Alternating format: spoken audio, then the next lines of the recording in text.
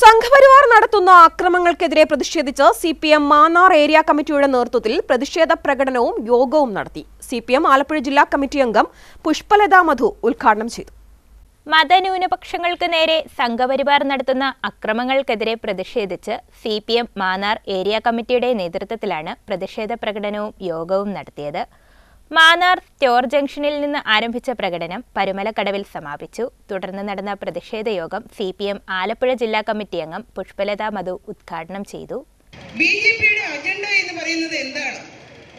B J പിയുടെ agenda എന്ന് പറയുന്നത് അല്ലെങ്കിൽ ആർ എസ് എസിന്റെ അജണ്ട എന്ന് പറയുന്നത് നമ്മുടെ രാജ്യത്തെ നമ്മുടെ ഇന്ത്യ മഹാരാജ്യത്തെ ഒരു ഹിന്ദു രാഷ്ട്രമായി മാറ്റുക എന്നുള്ളതാണ്. അതുകൊണ്ട് തന്നെയാണ് ഞാൻ സൂചിപ്പിച്ചത് ഒരു മതേതരത്വ ജനാധിപത്യ സോഷ്യലിസ്റ്റ് റിപ്പബ്ലിക് രാജ്യമായിട്ടുള്ള ഇന്ത്യ മഹാരാജ്യത്തിന്റെ കാതലായിട്ടുള്ള വശം എന്ന് പറയുന്നത് മതേതരത്വം തന്നെയാണ്. ഇവിടെ എല്ലാ വിഭാഗം ജനങ്ങൾക്ക് ജീവിക്കാനുള്ള അവകാശമുണ്ട്.